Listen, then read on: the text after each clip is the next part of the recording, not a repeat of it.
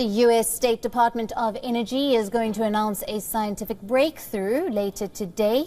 This breakthrough can potentially provide a cheap and clean source of electricity and reduce our dependence on fossil fuels.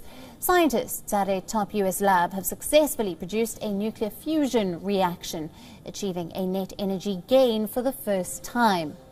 Nuclear fusion is a process that replicates the same energy that powers the sun and the stars. It happens when two or more atoms are fused into one larger one, which in the process gives off an enormous amount of energy. But the process in itself consumes vast amounts of energy. Scientists have now been able to make the process self-sustaining and achieve a net gain, which means they have been able to get more energy out than what goes in and it could happen continuously instead of in brief moments. For decades, scientists have attempted to achieve this net energy gain. Billions of dollars in investments have been poured in to achieve this.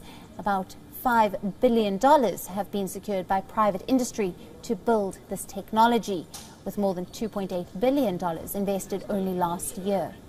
Investors include Bill Gates, Jeff Bezos, and John Doerr.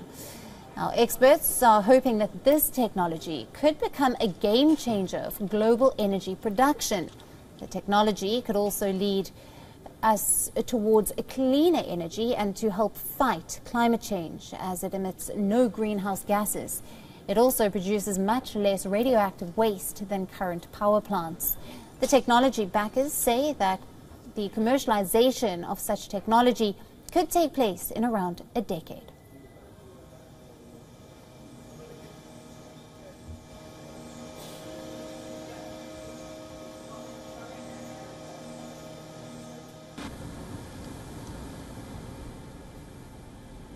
We are now available in your country. Download the app now. Get all the news on the move.